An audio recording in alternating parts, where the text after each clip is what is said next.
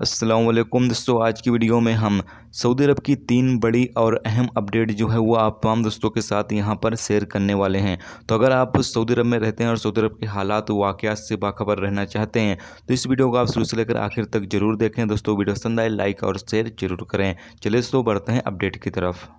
दोस्तों, पहली जो अपडेट है, वो बहुत ही ज़्यादा अहम है सऊदी अरब में रहने वाले तमाम लोगों के लिए। तो आप इस अपडेट के बारे में ज़रूर से जान लें, अगर आप सऊदी अरब के अंदर मौजूद हैं। तो सऊदी मिनिस्ट्री ऑफ़ हेल्थ के तर्जुमान doctor Mohammed Al Abad Al Ali ने कहा है कि आने वाले दिनों में नए कोरोना वायरस से पॉजिटिव लोगों की तादाद बढ़ने की उम्मीद है, यानी कि कोरोना के मरीजों की यहाँ पर बढ़ने की उम्मीद है। सबक वेबसाइट के मुताबिक अल अबद अल अली ने मंगल को एक ऑनलाइन प्रेस कॉन्फ्रेंस में बताया कि हालात से पता चलता है कि आने वाले दिनों में न सिर्फ़ कोरोना के मरीजों की तादाद बढ़ेगी, बल्कि मरने वालों की भी तादाद में यहाँ पर इजाफा होगा, यानी कि मरने वालों की तादाद भी बढ़ेगी।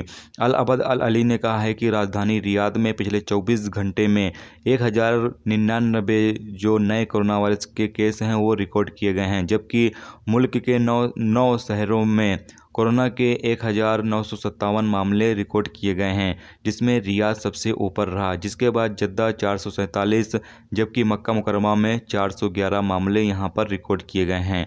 अल अबद अल अली ने बताया है कि मुल्क के तमाम शहरों में, ख़ास तौर से रियाद, जद्दा, मक्का में जो हिफाजती इंतज़ाम हैं, वो किए जा रहे हैं और जो सावधानियाँ हैं, वो बरती जा रही हैं, ताकि जो कोरोना वायरस के मरीज़ रिकॉर्ड पे आ रहे हैं, उनमें कुछ हद तक कंट्रोल किया जा सके, जबकि मरने वालों की तादाद में भी कंट्रोल किया जा सके। तो यहाँ पर अभी सऊदी मिनिस्ट्री ऑफ़ हेल्थ की तरफ़ से जो अपडेट जारी हुई है, उसके मुताबिक सऊदी अरब के अंदर आने वाले दिनों में जो कोरोना के मरीज़ हैं, वो बढ़ने की यहाँ पर उम्मीद है।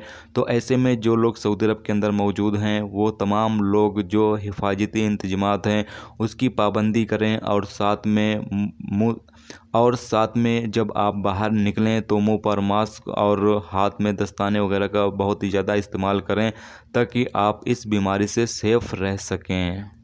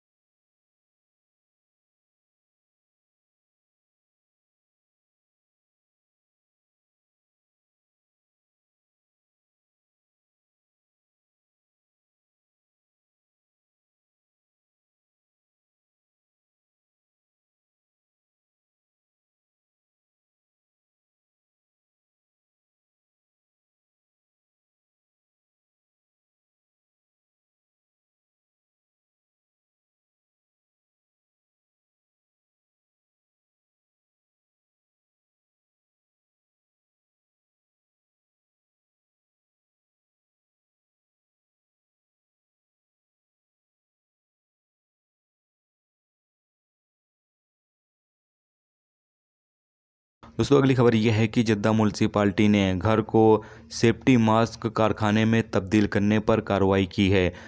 गैर मुल्कियों ने जद्दा के अलकंदरा इलाके में एक पुराने ज़माने के घर में सेफ्टी मास्क कारखाना कायम किया था। जद्दा म्यूनसिपाल्टी के अधिकारियों ने छापा मारा और कारखाने को सील कर दिया। सबक वेबसाइट के मुताबिक म्यूनसिपाल्टी के अधिकारियों और पुलिस को देखकर गैर मुल्की सेफ्टी मास्क के इलीगल कारखाने से भाग गए। पुलिस को उन तमाम लोगों की तलाश है। म्यूनसिपाल्टी के अधिकारियों ने कारखाने से 24 मशीनें जो हैं वो जब्त की हैं, जो कि वहाँ पर इन मशीनों पर काम किया जा रहा था। म्यूनसिपाल्टी के director engineer Mohammed Al Zahrani ने कहा है कि मास्क के कारखाने चलाने वाले इलीगल गैर मुल्कियों को गिरफ़्तार किया जाएगा और उनके खिलाफ कानूनी कार्रवाई की जाएगी।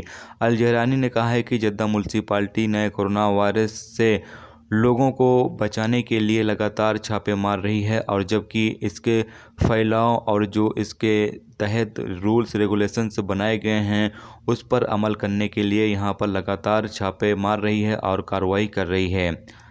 यहाँ पर सऊदी शहरियों और मुकीम गैर मुल्कियों की सेफ्टी के लिए लगातार जो म्यूनसिपाल्टी है, वो कोशिश कर रही है। इस हवाले से किसी को भी छोड़ा नहीं जाएगा। तमाम इलीगल कामकाज को ख़त्म करने के लिए जद्दा शहर में मुहिम चलाया जा रहा है, यानी कि अभियान चलाया जा रहा है। दोस्तों, अगली खबर यह है कि सऊदी अरब के नजरान इलाके की पुलिस ने कोरोना वायरस की टेस्ट रिपोर्ट में जालसाजी करवाने वाले दो यमनियों और जालसाजी में शामिल सऊदी को गिरफ़्तार किया है। सऊदी समाचार एजेंसी एसपीए के मुताबिक नजरान इलाके की पुलिस तर्जुमान मेजर अब्दुल्ला अल असीरी ने बताया कि पुलिस को खबर मिली थी कि यमनी, जिनका कोरोना टेस्ट पॉजिटिव आया था, उन्होंने रिश्वत देकर अपना टेस्ट नेगेटिव करवा लिया है। खबर मिलने पर पुलिस ने जाँच की और मुलजिम को गिरफ़्तार कर लिया। पूछताछ के दौरान यह पता चला कि उन्होंने एक सऊदी के साथ मिलकर नेगेटिव कोरोना टेस्ट की रिपोर्ट तैयार करवाई थी, जिसके लिए उन्होंने रिश्वत भी दी थी। जिसके बाद पुलिस ने जाँच शुरू की और फर्जी रिपोर्ट बनाने में मदद करने के लिए सऊदी शहरी को भी गिरफ़्तार कर लिया है। और इन तमाम को सऊदी पब्लिक प्रोक्यूशन के हवाले कर दिया गया है, जहाँ पर इनके खिलाफ़ कानूनी कार्रवाई की जाएगी।